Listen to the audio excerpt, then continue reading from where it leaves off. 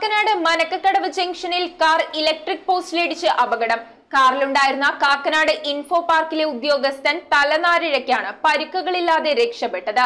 ഇടിയുടെ ആഘാതത്തിൽ electric post രണ്ടായി ഒടിഞ്ഞു വീണു. ഉച്ചയോടെയാണ് കാക്കനാട് ഭാഗത്തേക്ക് സഞ്ചരിച്ചിരുന്ന കാറ് മനക്കക്കടവ് ജംഗ്ഷനിൽ വെച്ച് തെന്നിമാറി വലതുവശത്തുള്ള ഇലക്ട്രിക് പോസ്റ്റ് ഇടിച്ചു തകർത്തുകൊണ്ട് അപകടത്തിൽപ്പെട്ടത്. കാറിന്റെ മുൻവശമാകെ തകർന്ന നിലയിലാണ്. എന്നാൽ കാർ ഓടിച്ചിരുന്ന കാക്കനാട് ഇൻഫോ പാർക്ക് ഉദ്യോഗസ്ഥനായ ജെന്റിൽ കാര്യമായ പരിക്കുകളില്ലാതെ രക്ഷപ്പെടുകയായിരുന്നു. കാറിടിച്ച് ഇലക്ട്രിക് പോസ്റ്റ് രണ്ടായി ഒടിഞ്ഞു വീണ് കമ്പികൾ പൊട്ടിയയുടൻ വിദ്യുശക്തി വിതരണം നിലച്ചതിനാൽ വൻ അത്യാഹിതം ഒഴിവായി. തുടർന്ന് ഇൻഫോ പാർക്ക് പോലീസ് സ്റ്റേഷനിലും കെ ഓഫീസിലും വിവരം അറിയിച്ചു. News bureau Ernakulam. റിങ്ങുകൾ. ഒരു ഗ്രാമിൽ തുടങ്ങുന്ന മാലകൾ നെക്ലസുകൾ. ഒൻപതിനായിരം രൂപ മുതൽ ഡയമണ്ട് നെക്ലസുകൾ. ഒരു ലക്ഷം മുതൽ ആരംഭിക്കുന്ന വെഡിംഗ് സെറ്റുകൾ.